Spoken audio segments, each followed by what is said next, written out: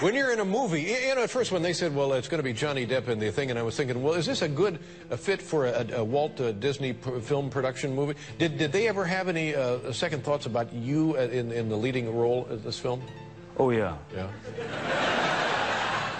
Oh, yeah. I mean, second, third, fourth. Really? Yeah. yeah. Many actors have spoken up about Disney's unfair firing of Johnny Depp, and more recently, his co actors are threatening to not appear in the franchise if he is not cast as Captain Jack Sparrow. Kaya Scodelario might be one of the actors who have hinted at not showing up in the sixth film. So, what exactly did Kaya say? Let me break it down for you. Kaya's Dead Men Tell No Tales character, Karina, may return in the sixth Pirates of the Caribbean movie, and her potential presence could connect the reboot to the franchise's earlier sequels. The future of the Pirates of the Caribbean franchise appears uncertain at the moment. It has been over four years since the most recent outing of the series, 2017's Dead Men Tell No Tales. Disappointed critics and fans alike, and it remains unclear whether Johnny Depp's Jack Sparrow will return to the franchise in the next outing. However, all hope is not lost. According to Depp's Dead Men Tell No Tales co-star Kaya, the actor was invited to reprise her role as Karina in another Pirates of the Caribbean movie when she signed on to star in the sequel. While the fate of the series remains unclear, this news could provide a clue to the future of the Pirates of the Caribbean movies going forward. Speaking to Screen Rant in late 2017, Kaya said that she was contractually obligated to appear in the next Pirates of the Caribbean sequel and even shared her idea for how to keep the character of Karina around. The actor said, Well, when I signed up for the first one, I signed up for two movies, so I'm contractually obliged, but I'd love to do it. I think there's a lot we can still do. I'd like to see Karina, who takes the elms of Barbossa on the sea, have her own all-female pirate crew. She then added, I think it would be a lot of fun to go back. It was an amazing experience to shoot. So many people all watch it and find joy in it. It crosses generations. People enjoy these movies and people still want to see them. I think it's important that we make sure it's good and if people want it and we can find the right script, I'd love to be a part of it. But as of now, I haven't heard anything. Her own female private crew idea marries well with what has been reported about the future of the franchise. It was announced in 2020 that Margot Robbie would star in a sixth Pirates of the Caribbean movie, although it remains to be seen whether this project will be a spin-off or direct sequel to the series so far. Kaya played the role of a daughter of Captain Barbossa in Pirates of the Caribbean. This role was introduced in Dead Men Tell No Tales. While Elizabeth and Will's cameo was a disappointment for many fans of the series, Karina's plotline was hailed by some reviewers as one of the movie's stronger subplots. A headstrong astronomer, the ambitious character begins the movie being accused of witchcraft before she is saved by Sparrow in the course of one of his many misadventures. In the ensuing story, she discovers her father's identity as Barbossa and sacrifices himself to kill Javier Bardem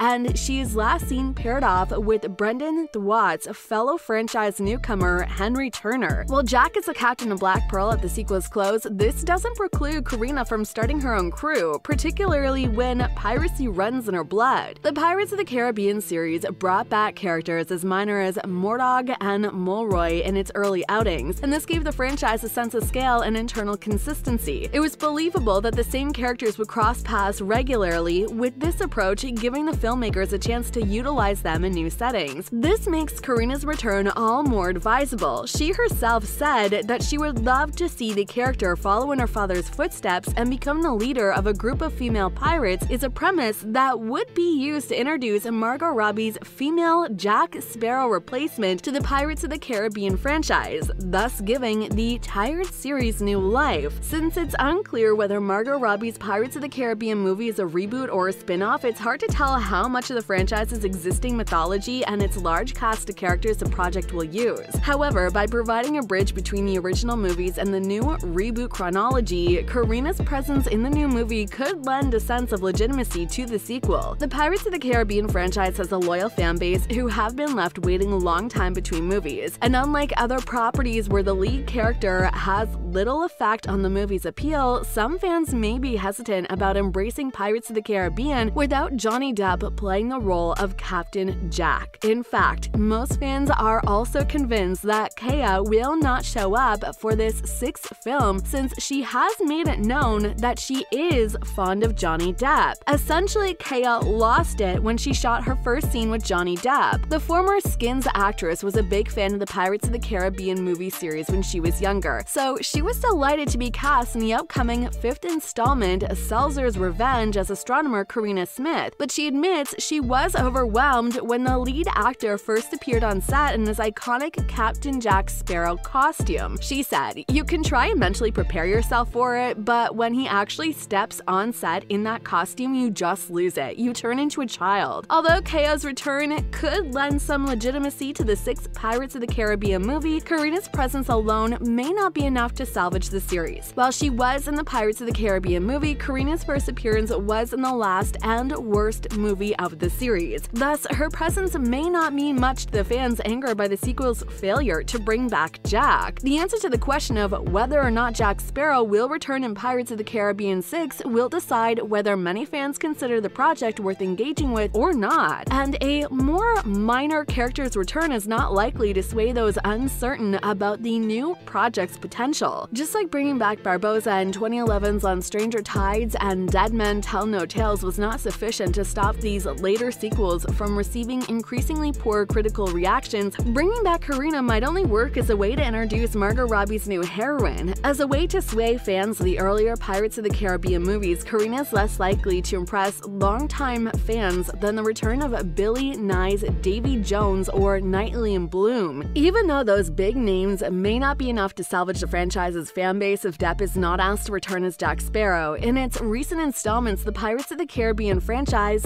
grew to rely more and more on Depp's depiction of the lovable layabout. Now, the series is unlikely to win back the crowd if it fails to facilitate his return, something that no amount of cameos from minor characters seen in Dead Men Tell No Tales will be likely to change. Disney is said to have dropped Depp from the Pirates franchise just four days after Heard's Incinerator 2018 op-ed in the same publication in which she claimed, without naming Depp, that she was a victim of domestic violence. Depp's lawyers claimed that the actor's removal from the multi-billion dollar grossing franchise was because of her allegations. The complaint also blamed Heard for Disney announcing that it had dropped Depp from the Pirates of the Caribbean franchise four days after the op-ed was published, the report said. In 2018, Disney production chief Sean Bailey confirmed that Depp was no longer part of the franchise's future plans. He told The Hollywood Reporter, We want to bring in a new energy and vitality. I love the Pirates movies, but part of the reason writers Paul Wernick and Rhett Reese were so interesting is that we want to give it a kick in the pants, and that's what I've been tasked with. Previously, the original Pirates film screenwriter Stuart Beatty had confirmed that the studio was looking to reboot the series. I think he's a great run, he told Daily Mail TV. Obviously, he made that character his own and it became the thing that he's most famous for now. It's been great for him and it's been great for us. There's that saying, don't frown because it's over, smile because it happened. The fact that they're rebooting something that you did means that you did something that was worth rebooting. It's an honor. However, according to a new report, recent developments in Depp's ongoing legal tussle with Heard suggest that Disney might be having second thoughts about the actor. Uh, we Got This Covered report claimed that following a series of revelations in the court case between the two former spouses, we're now hearing that the 56-year-old could be set to reprise his Academy Award-nominated signature role in the upcoming Six movie. The report said that Disney is looking to hire a female lead for the upcoming film with Depp appearing in a supporting role. That's it for today's video. If you enjoyed this video, then you definitely will love our videos about all the other actors who are threatening to boycott the Pirates of the Caribbean franchise.